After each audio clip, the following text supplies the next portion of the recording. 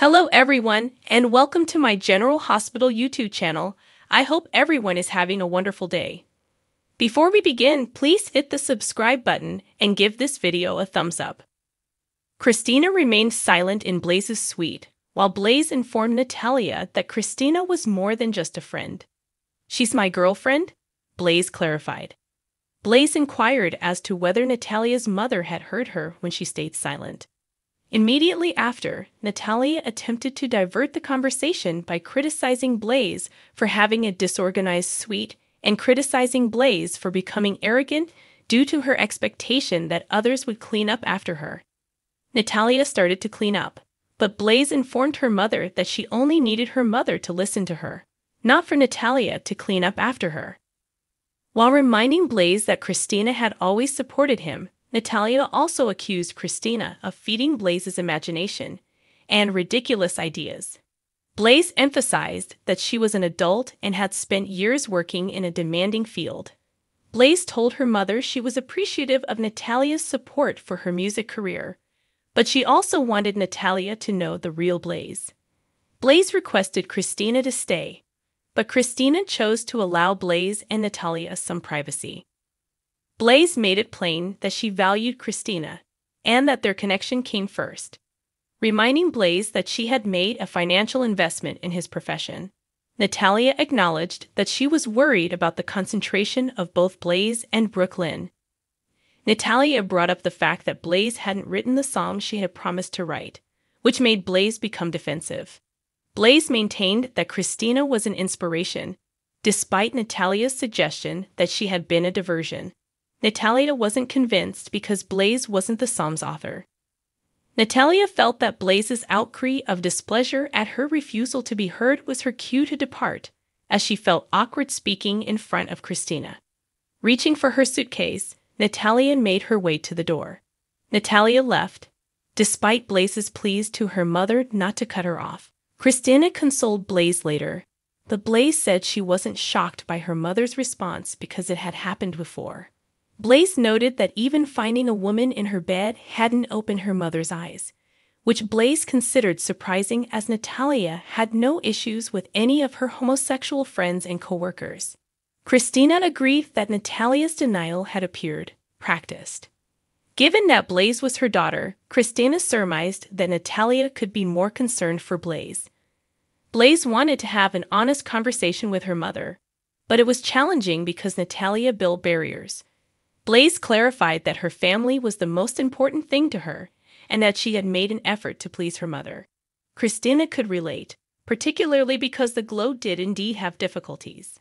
I guess for my mom, I'm one of them, Blaze remarked.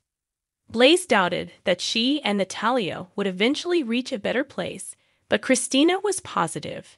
Since Kristina had already dealt with coming out, Blaze gave her the option to leave. Kristina then inquired as to whether Blaze regretted calling Kristina her girlfriend. Kristina told Blaze that Natalia might never change, even though Blaze assured her she would never regret it because it was the first time in a long time that she felt free. Blaze concurred, yet she desired for Natalia to realize the significance of her bond with Kristina. Blaze was cautioned by Kristina that nothing is guaranteed, not even for them but she urged him to persist in trying with Natalia. Kristina changed course since she needed to get to a foundation meeting. Blaze grinned and said that being with Kristina was the reason she was happy. Blaze's smile disappeared as they kissed, and Kristina turned to leave. Maxie accepted that she and Spinelli had kissed in her place, but she recommended that they act as though it had never happened. She told him that she had enjoyed the kiss, allaying Spinelli's concerns. With a sense of relief, Spinelli acknowledged that he would never be able to return to the previous state of affairs. I think I'm falling back in love with you, Maxie, Spinelli said. In an instant, he made it clear that it went beyond that. He was in love. Spinelli acknowledged that he had always had feelings for Maxie, but she warned him against changing the past. Spinelli acknowledged that he had sublimated his affections for her before, but that had all changed over Christmas. He claimed that his feelings for her had never been greater. Spinelli inquired as to Maxie's thoughts. Admitting that she felt the same way about him, she questioned whether love was sufficient to keep them together given that it hadn't worked in the past. She accepted that fate had brought them together when Spinelli's pipes burst, and he moved in, despite his assurances that they were meant to be together. As he had to inform Maxie that fate had nothing to do with it, Spinelli's smile dimmed. He acknowledged that he had lied to her without raising any red flags in order to assist her with her expenditures. When Maxie learned that Felicia had told Spinelli about her financial difficulties, she became enraged and felt that Spinelli was assuming that she was incapable of providing for her children and herself. Maxie fiercely declared, True love had nothing to do with this. Maxie reminded Spinelli that she had heard the same justifications from Austin Gatlin Holt and Peter August, so he hurried to reassure her that he had behaved out of love. Maxie disagreed with Spinelli's claim that he wasn't like Peter and Austin because he had lied to her and moved in under false pretenses. She expressed her disappointment that Spinelli, of all people, didn't see that there were no levels of trust and clarified that she needed to have complete faith in the person she committed her heart to. Maxie was reassured by Spinelli that his intention was purely helpful.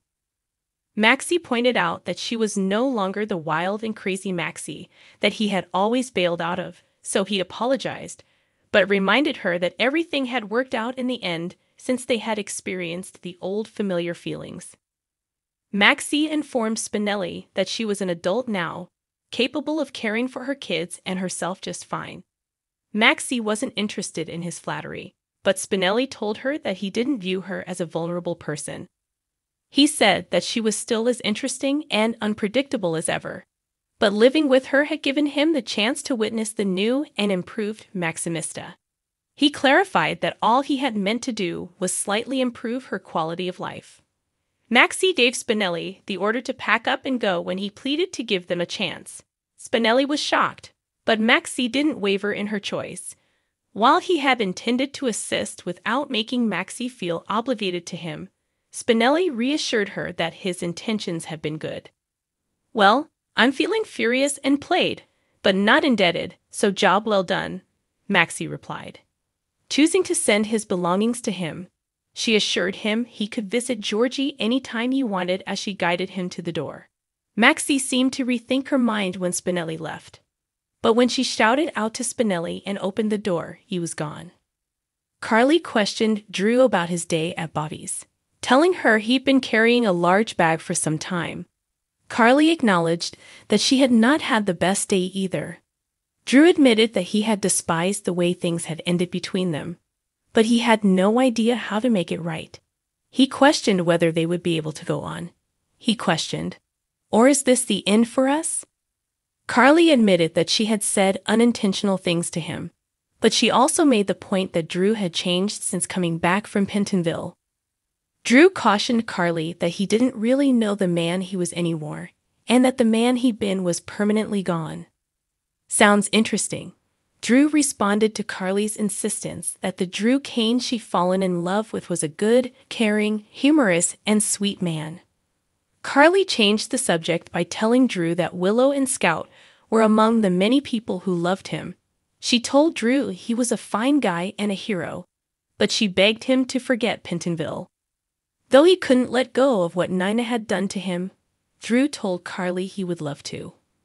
Although Carly acknowledged that she too detested Nina, she was concerned that their relationship would fail if he was unable to let go of his animosity toward her.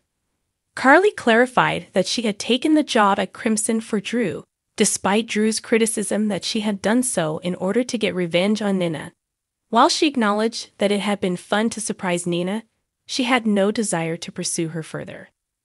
Though her mother had known better than to seek retribution or give in to her worst desires, Carly reminded him that Bobby's had been named after a woman who had given as good as she had received.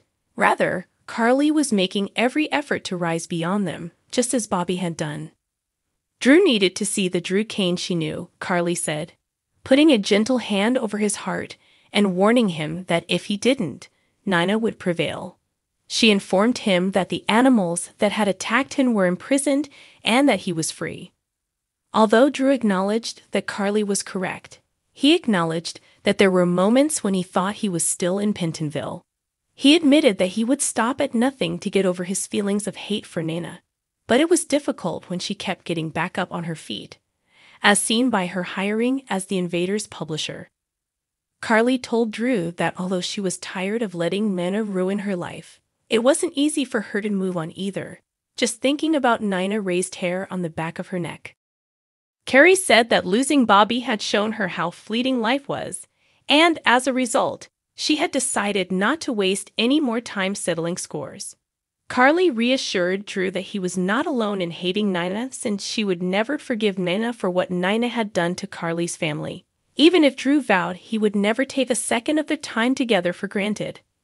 Carly acknowledged that she could never trust anything Nina said. If she walked in and said, Good morning, I'd be looking for the meteor to hit, remarked Carly. Drew felt relieved since he had believed he was the only one who had recognized Nina's danger. Carly informed Drew that Nina posed a threat to her own well being. Carly maintained that she and Drew were the only things that mattered. Drew thought that sounded good, and he smiled. Carly informed him she had thoughts about how they may get back together after he questioned her in a seductive way. Carly and Drew went back to her house and made love after she locked up. Sonny encouraged Nina to voice her opinions and told her not to squander their time at the Jerome Gallery. Sonny encouraged Nina to quit procrastinating and get to the point, even if her tone had offended her.